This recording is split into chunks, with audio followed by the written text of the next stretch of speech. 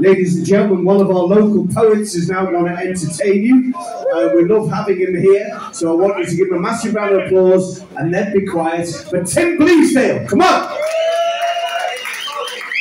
Thank you. Uh, now for something completely different. Uh, that was great. What a band. Um, the Dogs, something. Uh, it was kind of like um, shamanic rock or something like this. But uh, yeah, really, really good stuff. Um, so I got one poem for you, so I'm going to do. But first, I've got a little bit of good news. The Oxford English Dictionary have just accepted one of my words. Yes. As a wordsmith, uh, this is quite a celebration for me. The words that they've accepted, something I've been trying to describe for a long time, but I came up with this word of um, psychotraumediatized. And there's three versions psychotraumediatized, psychotraumediatized, and psychotraumediatization and it means uh, a word to describe the condition of a person or people or population that have had their consent manufactured by the medical and media industrial complex, mostly through the television, for an experimental procedure as part of a covert psycho-spiritual warfare operation upon a civilian population for depopulation, sterilization, and business purposes. Yes. So uh, some examples of this are uh, she was psychotraumediatized into having an experimental vaccination. They agreed that it was in the best business interest to psychotraumediatize a civilian population. It seemed to be the psychotraumediatization of a planetary population. So Yes, uh, have a look next time you're on English uh, dictionary for that word, and that was me. You made that word. So thanks.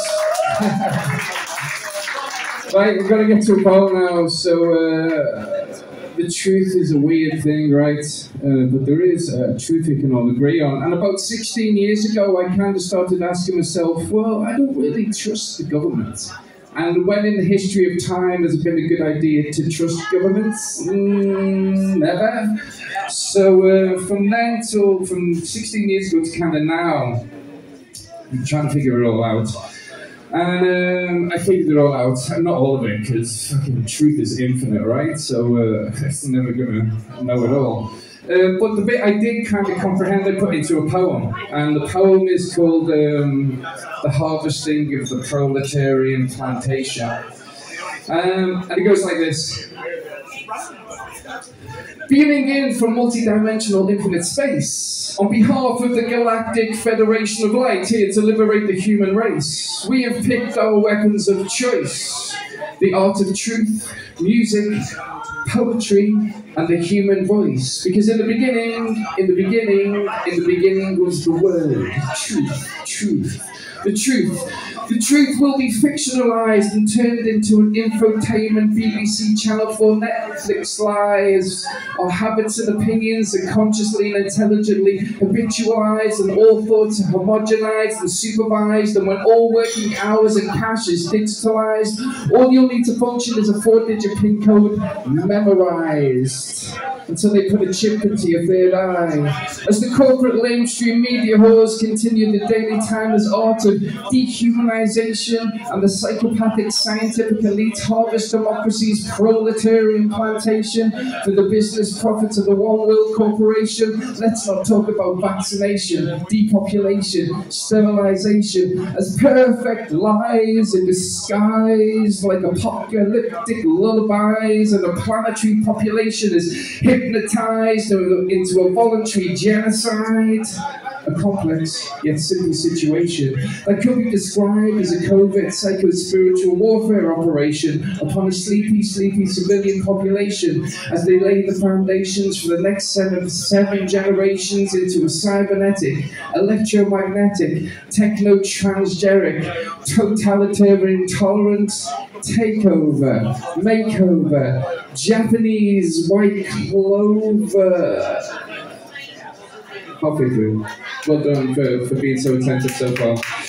As the lamestream corporate media whores continue their daily timeless art of dehumanization and plant a thought virus so deep in their minds it makes it almost impossible to find God, sovereign, free, divine, or any navigation of a celestial kind.